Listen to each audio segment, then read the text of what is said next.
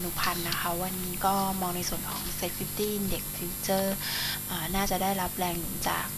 ในส่วนของผลการประชุมเฟดนะคะหลังจากที่เฟดเนี่ยได้ส่งสัญญาณถึงแนวโน้มเศรษฐกิจที่น่าจะฟื้นตัวขึ้นได้ตามลำดับนะคะแล้วก็มองว่าน่าจะจะคงอัตราดอกเบี้ยในระยะสั้นต่อไปจนถึงปี 2014 โดยทั้งนี้ก็ถึงแม้ว่าในเรื่องของ QE 3เนี่ยจะตกไป แต่ว่าเฟดก็ยังคงยืนยันว่าพร้อมที่จะใช้มาตรการเพิ่มเติมเพื่อกระตุ้นเศรษฐกิจถ้าหากว่ามีความจำเป็นก็ดูเหมือนว่าประเด็นดังกล่าวจะเป็นแรงหนุนให้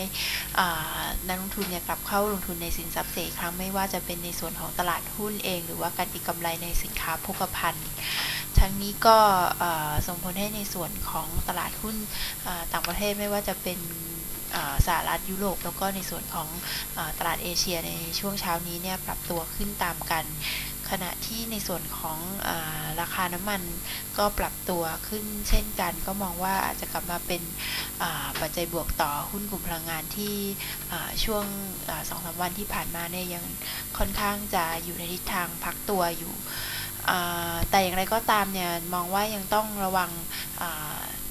แรงขายทำกำไรของนักทุนต่างชาติ หลังจากที่ยังขายมาต่อเนื่องในฝั่งของตลาดหุ้นเมื่อวานนี้ แต่ว่าาซื้อสุทธิในส่วนของ Set 50 Index Future อ่าต่อเนื่องแล้วก็อยู่ในปริมาณที่มากขึ้น โดยเมื่อวานเนี่ยซื้อไปที่ระดับ 1,692 สัญญาทั้งนี้ก็มองว่าในระยะสั้นมีโอกาสที่จะปรับตัวขึ้นต่อได้สำหรับในส่วนของ Set 50 แล้วก็ในส่วนของ Set 50 Index Future โดยทั้งนี้ก็ได้รับแรงหนุนจากในส่วนของสัญญาณทางเทคนิคด้วยแนะนำให้เข้าเปิดสถานะลอง S50 M12 แต่อย่างไรก็ตาม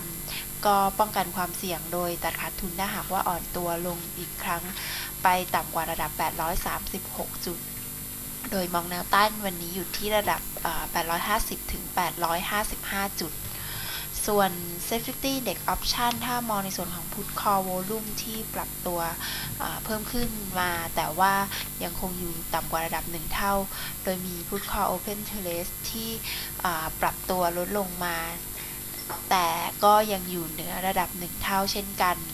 อีกทั้งในส่วนของ Implied Volatility โดยรวมในฝั่งของ Call Option ก็ยังคงอยู่ที่ระดับต่ำกว่า Put Option ต่อเนื่องเป็นวันที่ 14 ก็ยังสะท้อนภาพตลาดที่ยังคงเห็นความผันผวน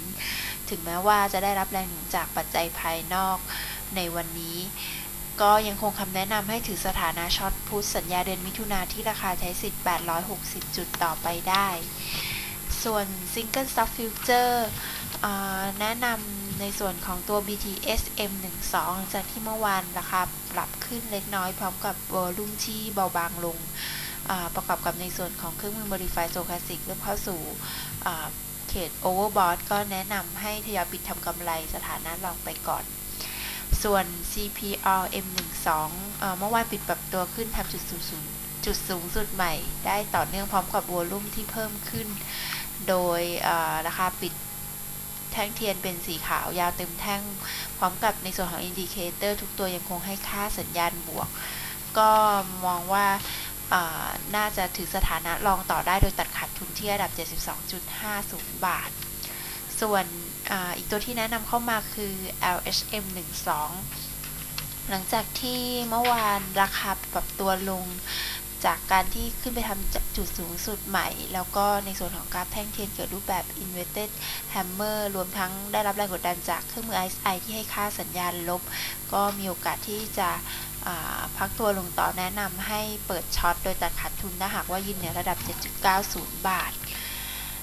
สำหรับในส่วนของตัว commodity future ก็มองว่าราคาสินค้าโภคภัณฑ์ในตลาดโลกเองก็ได้รับแรงหนุนจาก แถลงการของเฟดในเรื่องของการที่เฟดพร้อมจะดำเนินการกระตุ้นเศรษฐกิจหากมีความจำเป็น แล้วก็การคงอัตราดอกเบี้ยไปใกล้ระดับ 0%ต่อไปจนถึงปี 2014 ก็ทำให้มีแรงกำไรในส่วนของสินค้าโภคภัณฑ์เข้ามา โดยทั้งนี้ในส่วนของสปอตโกก็ปรับตัวขึ้นมาอยู่ที่ระดับ 1,644 4 เหรียญต่อออนหลังจากที่ในช่วงของการซื้อขายเมื่อคืนเนี่ยมีการปรับตัวลดลงไปถึงระดับประมาณ 1,624 เหรียญต่อออน โดยทั้งนี้ในส่วนของดัชนีความผันผวนอของราคาทองคำของราคาทองคำในตลาดออปชันของสหรัฐเนี่ยพุ่งขึ้นเกือบ 3%สู่ระดับ 18 เมื่อวานนี้ซึ่งถือเป็นจุดสูงสุดในรอบกว่า 1 สัปดาห์ก็ เป็นแรงหนุนที่ทำให้ทิศทางราคาทองคำในช่วงสั้นมีโอกาสที่จะฟื้นตัวขึ้นอีกครั้ง อีกทั้งความเห็นของโบรกเกอร์โลหะมีค่าของบริษัท INTL FT Stone ที่มีออกมาในเรื่องของคำสั่งขายทองคำที่ออกมา มีออกมามากเกินไปในช่วงที่ผ่านมา ก็มองว่า จะทำให้ราคาทองเนี่ยเข้าใกล้ระดับต่ำสุดของกรอบการซื้อขายในช่วงนี้ก็มีโอกาสที่จะเห็นการฟื้นตัวกลับขึ้นมาอีกครั้ง ก็ช่วยหนุนทิศทางของราคาทองคำโดย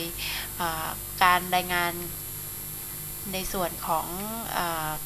การถือครองทองคำของอาร์เจนตินาจาก IMF ที่มีการปรับเพิ่มปริมาณทองคำสำรองในเดือนกันยายนก็เป็นอีกปัจจัยที่สะท้อนภาพความต้องการทองคำ ของธนาคารกลางประเทศต่างๆ ก็ด้วยปัจจัยทั้งหลายเหล่านี้ก็มองว่าทำให้กรอบการปรับตัวลงของราคาทองคำเนี่ยยังค่อนข้างจำกัดถึงแม้ว่าช่วงนี้ยังมีความผันผวน ส่วน spot silver เองก็ได้รับแรงหนุนเช่นกัน ถึงแม้ว่าทิศทางในช่วงนี้จะทิศทางหลักจะเป็นขาลงก็ตาม แต่ว่ากรอบการปรับลงก็จำกัดมากขึ้น โดยทั้งนี้ก็ได้รับแรงหนุนจากในส่วนของดอลลาร์สหรัฐที่ปรับตัวลงเทียบกับตะกร้าสกุลเงินสำคัญใกล้ระดับต่ำสุดในรอบ 3 สัปดาห์ หลังจากที่มีการแถลงการณ์ของเฟดออกมา โดยเช้านี้ในส่วนของ spot silver อยู่ที่ระดับ 30.69 เหรียญต่อออนซ์ หลังจากที่ลงไปใกล้ๆระดับ 30 เหรียญต่อออนซ์ในเมื่อคืนนี้ ส่วนราคาน้ำมันดิบเบรนท์ เช้านี้ก็ยังปรับตัวขึ้นจากเมื่อคืนในช่วงปิดตลาดของฟิวเจอร์ของไทยเมื่อคืนนี้ โดยปรับขึ้นมา 0.97 เหรียญมายังระดับ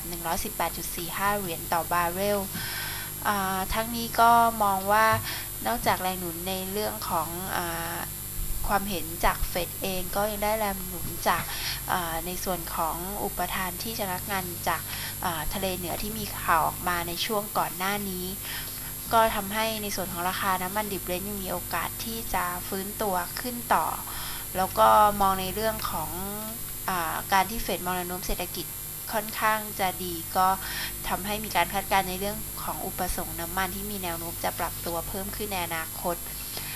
ดังนั้นเนี่ยสำหรับ